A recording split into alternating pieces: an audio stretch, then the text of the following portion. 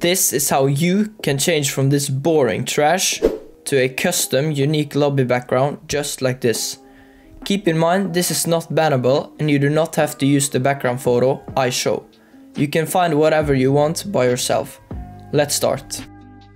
First of all I want you to go into your web browser and search for any wallpaper or Fortnite theme that you want to have as your background.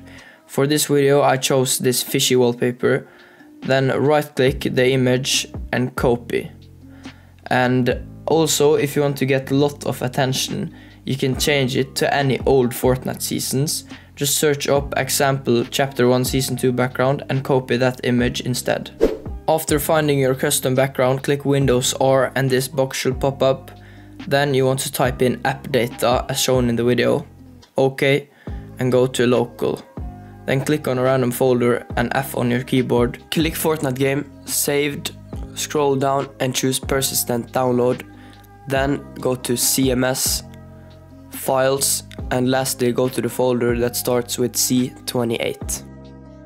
Inside this folder you want to look for the current lobby background. Just scroll past all of them and you should find it. When found the right file, right click and open with paint. You can then zoom out to see the whole photo. But here is the important part. At the left corner you will see this paste button. If this is not working you have to copy the selected image. From here on cover the new lobby background over the old.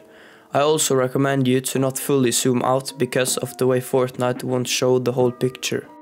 You can either copy around the same size as me or just use your brain and remember how much of the old one you could see in the lobby.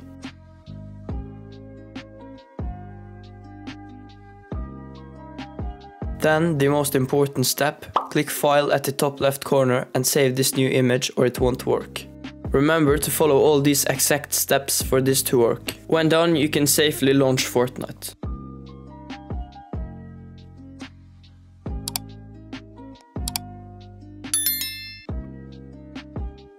As you can see, after following all the steps, you should now have this custom and unique lobby, all because of subscribing with notifications to Vimzy. But will I have this forever? How can I change it back? Changing back to the normal lobby is very simple. Just go into your settings and change your current language to German. Click apply.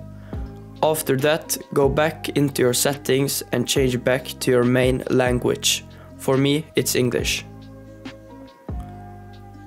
You will then have the standard lobby again. So that is how you can get a custom lobby. Remember to like if this video helped you out and click this video on screen now to take your PC even further by getting a custom cursor.